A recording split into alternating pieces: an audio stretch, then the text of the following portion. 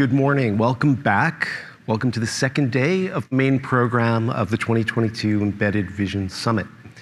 I hope you enjoyed the summit yesterday.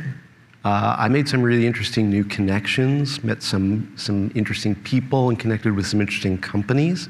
And that felt really nice after not seeing many people in th actual three dimensional physical space for a long time. Uh, I also learned a lot, and I had my, my thinking challenged in, in several conversations and sessions yesterday, which I think is always very healthy.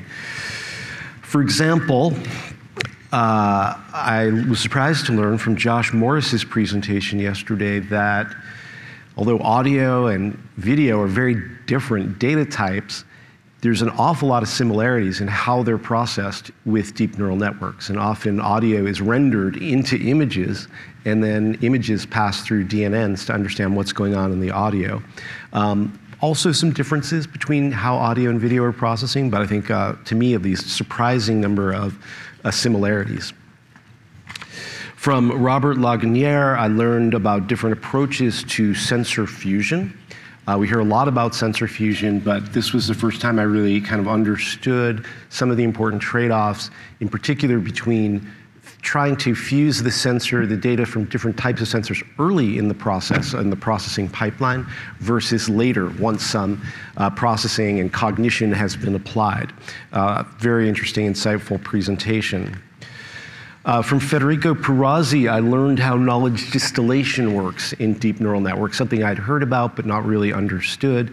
Um, realizing that now, now realizing that this is a very powerful technique for model compression.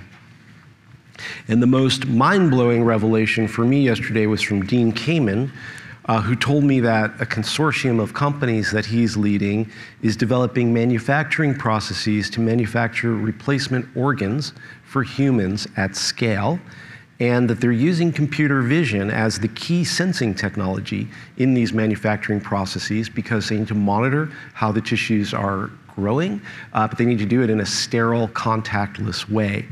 They expect to be manufacturing organs by the end of this year, which I'm still having a hard time getting my head around. And I told Dean that if I'd heard this from just about anyone else on the planet, I'd think, nah, but from Dean, it's probably real.